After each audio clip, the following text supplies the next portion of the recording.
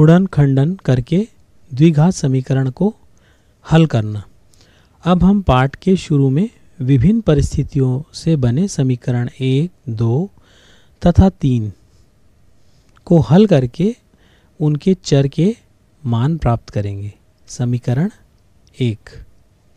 X की घात दो, ऋण बीस की घात दो बराबर शून्य को हल करने के लिए इसकी तुलना सर्व समीका ए की घात दो, ऋण बी की घात दो बराबर कोष्टक में ए ऋण बी कोष्टक बंद फिर दूसरे कोष्टक में ए धन बी कोष्टक बंद से करने पर x की घात दो, ऋण बीस की घात दो बराबर हम लिखेंगे x ऋण बीस और x धन बीस।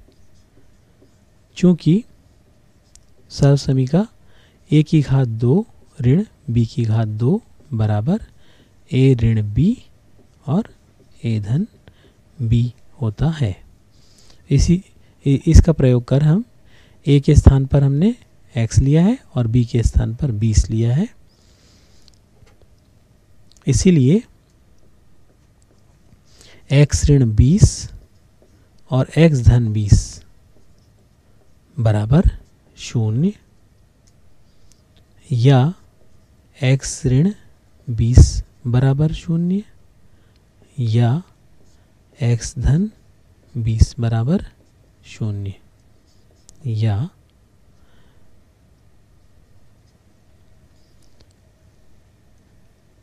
x ऋण 20 बराबर शून्य कोष्टक में या x धन 20 कोष्ट x धन 20 कोष्टक में बराबर शून्य या x ऋण 20 बराबर शून्य या x धन 20 बराबर शून्य। पक्षांतर करेंगे हम ऋण बीस बीस को तो x बराबर बीस या x बराबर धन बीस का पक्षांतर करेंगे तो ऋण बीस।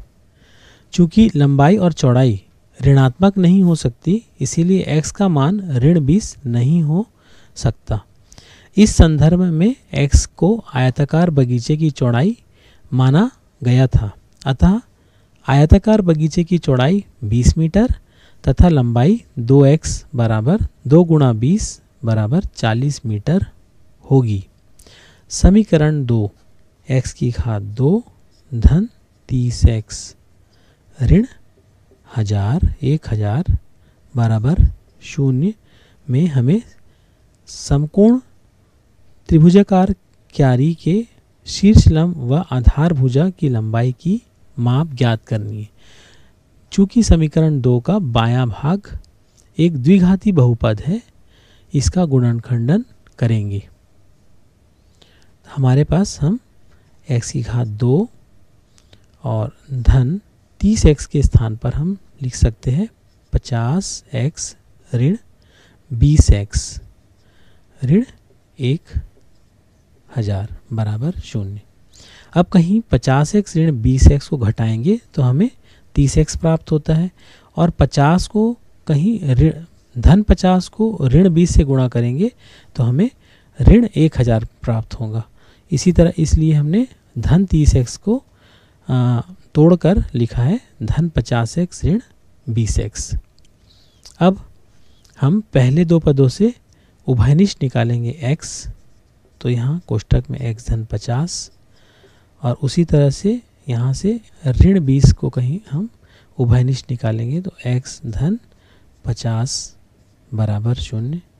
अब दोनों पदों से कहीं हम एक्स धन पचास को उभयनिष्ठ निकालते हैं तो दूसरे कोष्टक में एक्स ऋण बीस कोष्टक बंद बराबर शून्य। या कोष्टक में x धन पचास कोष्टक बंद बराबर शून्य, या कोष्टक में x ऋण बीस कोष्टक बंद बराबर शून्य, या x धन पचास बराबर शून्य, या x ऋण बीस बराबर शून्य। पचास का जब हम पक्षांतर करेंगे तो एक्स बराबर ऋण पचास, या एक्स बराबर ऋण बीस का पक्षांतर करेंगे तो बीस, धन बीस हो जाएगा, जिसमें हम सिर्फ़ बीस लिखेंगे। तो हमने x का मान प्राप्त किया ऋण पचास या x बराबर बीस।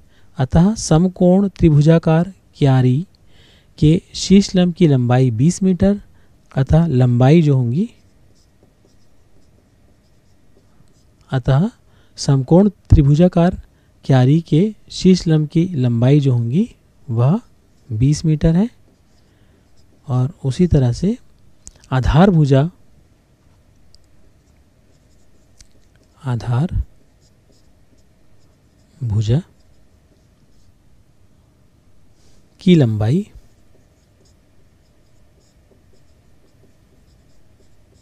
बराबर x धन तीस है। तो x के स्थान पर हम जब बीस रखेंगे तो बीस धन तीस बीस धन तीस बराबर पचास मीटर मीटर होनी चाहिए। इसी तरह से समीकरण तीन का गुणन खंडन करके संख्याएँ प्राप्त की जा सकती है। नीचे दिए गए उदाहरणों में हम द्विघात समीकरणों का गुणन खंडन कर हल प्राप्त करेंगे।